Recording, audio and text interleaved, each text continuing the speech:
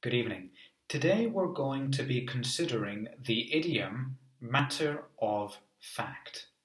So, what does this idiom mean?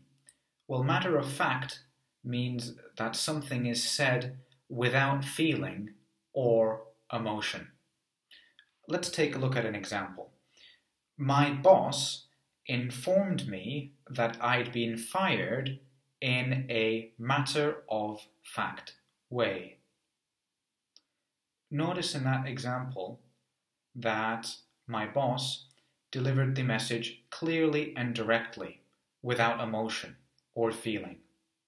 It could seem almost mechanical.